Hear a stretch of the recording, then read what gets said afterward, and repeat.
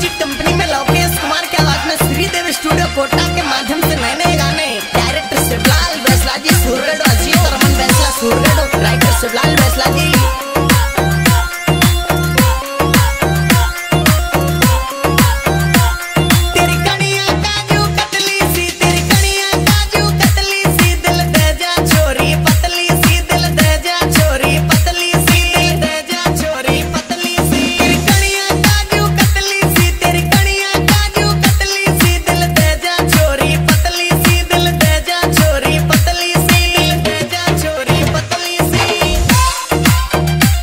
Music by a plan. Yes, the